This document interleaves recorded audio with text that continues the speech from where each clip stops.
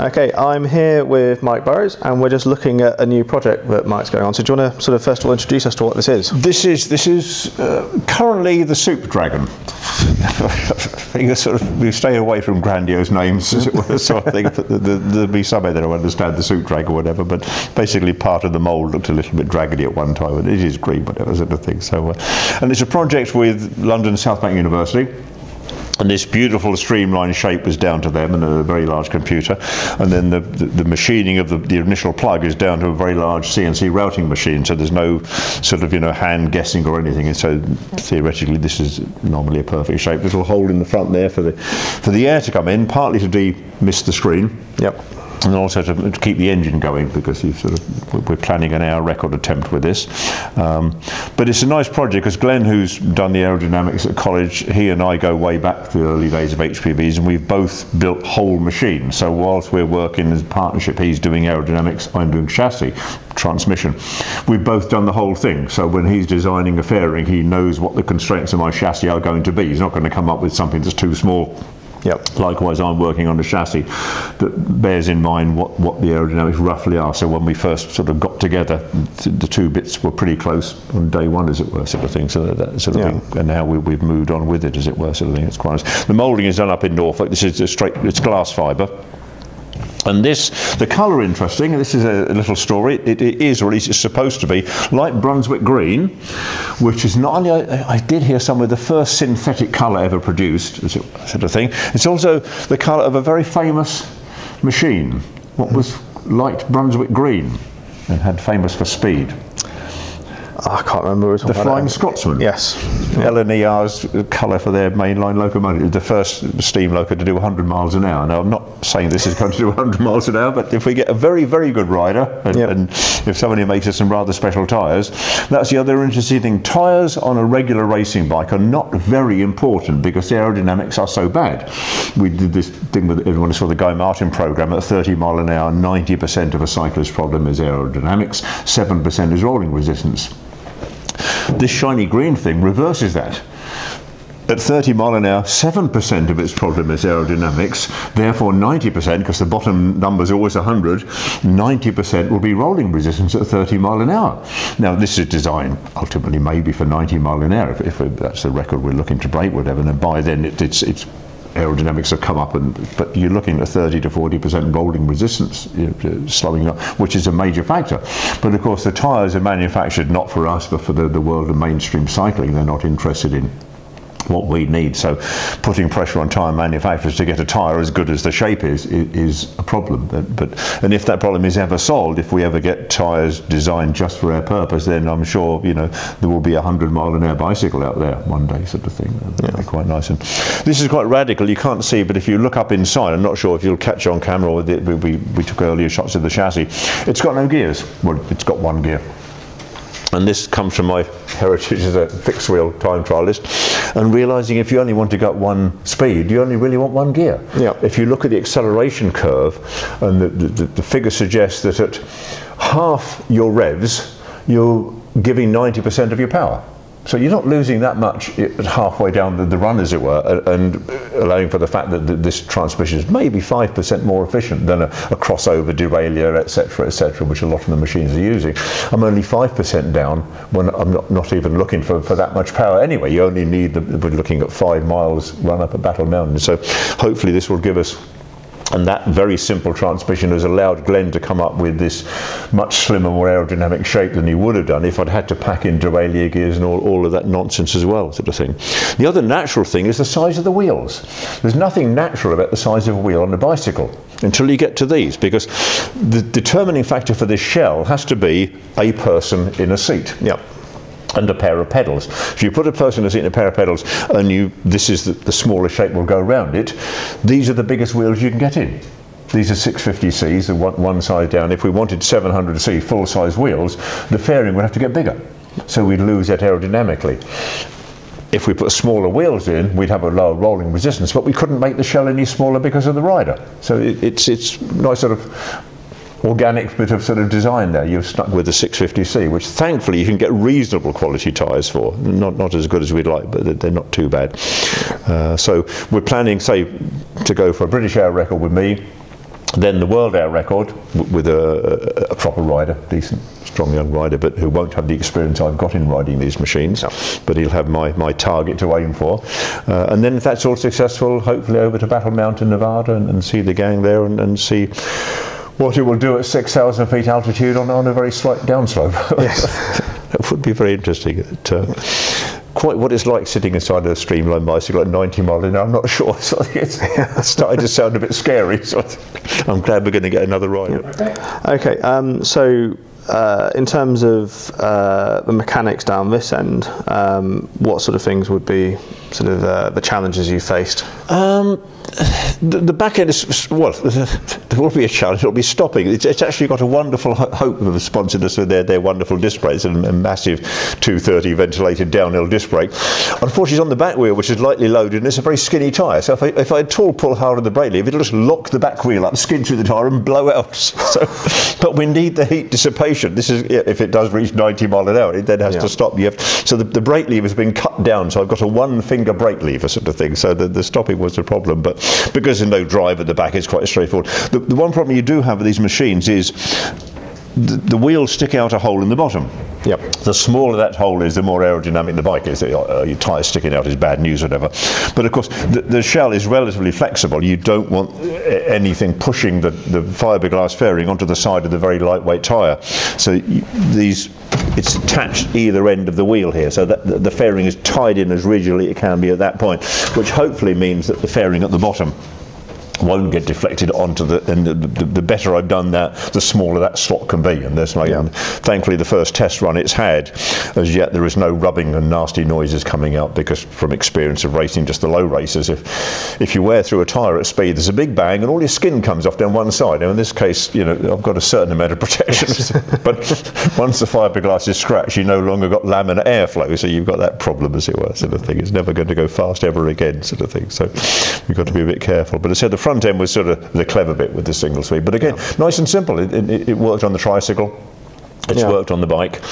The only thing is that, that, if you want to grab that black thing over there and hold it up to the camera, what's set, it's set up now for the hour record attempt on the little ring. That's it. That's the big ring. that's, wow. a, that's 150 tooth, uh, 8 millimeter pitch that they sort of wedge together in the centre. There's an interesting bottom bracket system I run. Uh, the crank's built in, moulded in there. There's the pedal simply screws in there, and there's a stainless steel crank moulded into the carbon fibre, so that's all, all in one go. And you see the teeth are much smaller than a regular bicycle. This is 8 millimetre pitch engineering chain made by Reynolds in Germany, of course, as all good Reynolds products are these days, apparently. Uh, and it's wonderful. It's proper chain. Bicycle chain isn't proper chain anymore. Sadly, yeah. it's got split in the links and it's not very efficient.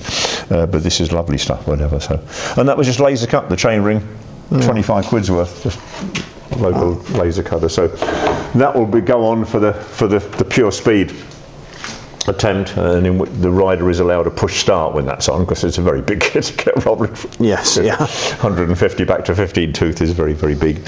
Uh, with this, I have to st start for the hour record. You're not allowed to push because okay. it's within yeah. that period of time, of course. You yeah. start, so you have to start really quite slowly and get rumbled away, whatever. With the, the little wheel uh, down the side there is the landing gear, of course. And once you're up to speed, which is about 10 mile an hour, you flick a little lever inside here, and you that on that happens. And you're going, yeah, aerodynamics. And you need to remember to put it back down again. Which on my early test runs I very nearly forgot. Only the last the wheel dropped it down or whatever sort of thing. So um, that's, that gets you up and down. I mean, earlier uh, off camera we were talking about with the rear wheel that uh, one or two competitors have been looking at potentially having a sort of shell around the, you, the wheel inside. Yeah, there's, there's, the there's, an aerodynamic theory that I really don't understand, and my, my partner Glenn thankfully doesn't believe it either. There's front and back as well. That even when this is disced over, this will be a disc wheel for final, just fabric glued on, works fine.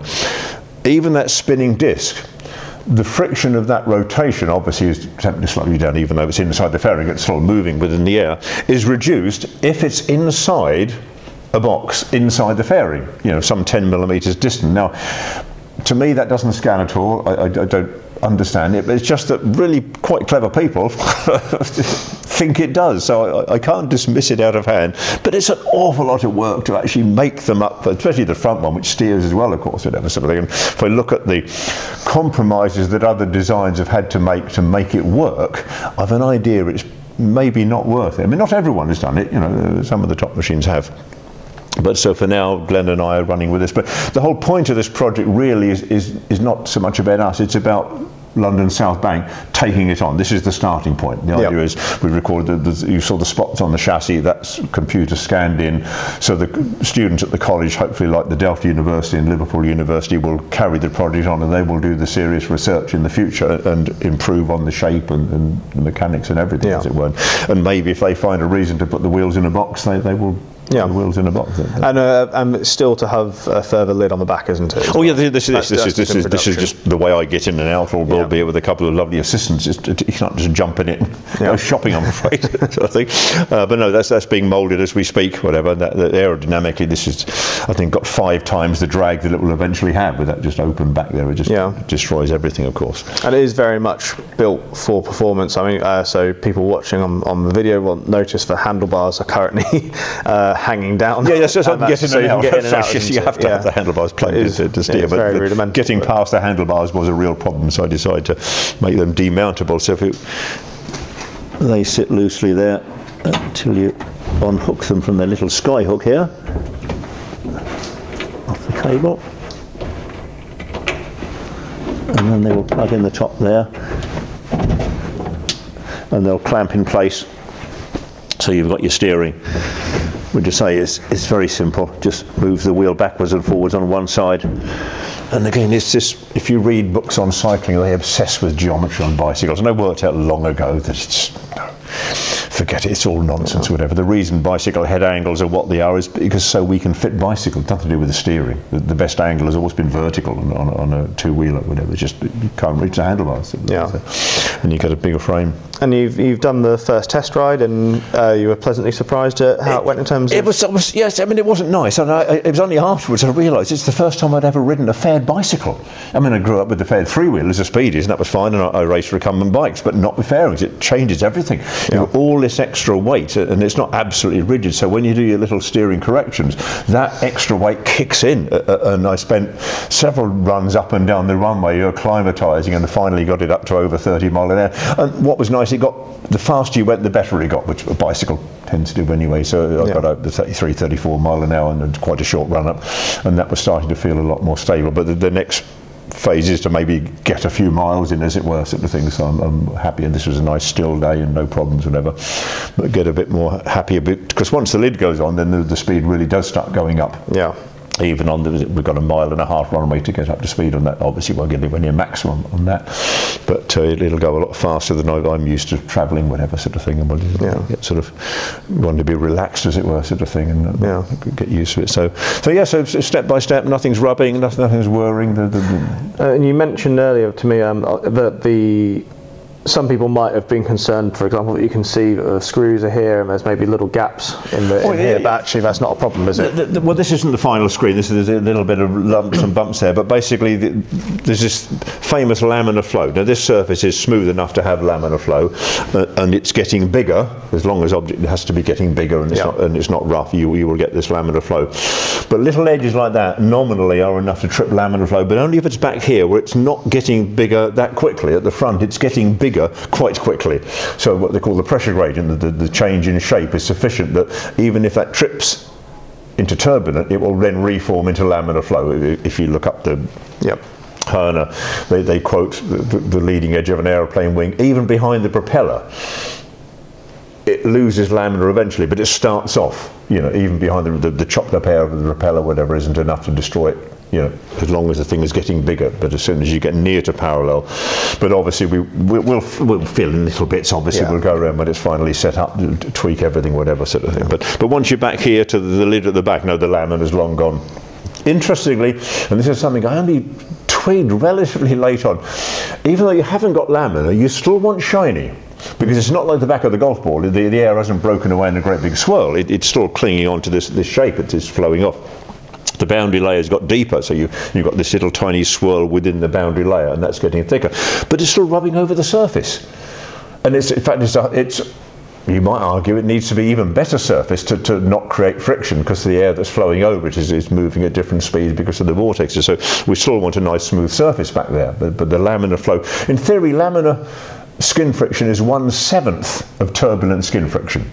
And as skin friction is the bulk of the drag, in theory, if this was all laminar, it would have seven times less drag than all turbulent. Now, this is very much theoretical, and the real world, I'm not sure it's quite like that, but, but you know, we all want laminar flow on, on these the world of mainstream cycling, no, you don't. You forget laminar sure. flow. Your, your form drag is the, the, swirly bit off the back's the problem. With this, it, it's about how much laminar you can have. And the other thing was relatively unusual these days in, in having a screen. A lot of the, the modern machines have video yeah. vision, so they have a little camera stuck up at the back and they're, they're riding to a screen. And that again is just a bit iffy. Yeah, it's, it's not that nice, as it were, sort of thing. You know, the, the, the way you ride a bicycle is it's not that intuitive, yeah. whatever. So, and mostly they have to have it because they haven't got the air simple transmission. They've got loads of gears sort of in their line of sight, which I haven't got here. We've got a reasonable vision out the front. So yes. Yeah. we're hoping will give us another little edge. And it, it's talking about the sort of the, the, the, the, the marginal gains that British cycling were on, yeah, we're, we're into that area now with this, of course. Obviously, we, we, there's no way you can have a big jump over what's out there because what's out there is nearly perfect, sort of yeah. thing, by definition at this level sort of thing, and uh, other than the tyres, uh, which is out of our hands, but tyre manufacturers, I'm convinced, could, could give us, you know, if they were interested, something that's a lot, lot better, and that's become a major problem. But yeah. we'll see. But you know, end of the year, you can come and interview us again. Yep. I might or might not be a British record holder. Yeah, yeah. Cool. Well, yeah. Uh, thank you very much for sort of talking us through this, and I hope it goes well, and we get uh, the right sort of rider for it. Yeah. Well, this is it. Yeah, that, that's the next step, and, and again, well, best of luck with with the magazine as well. Cheers. see it come out there.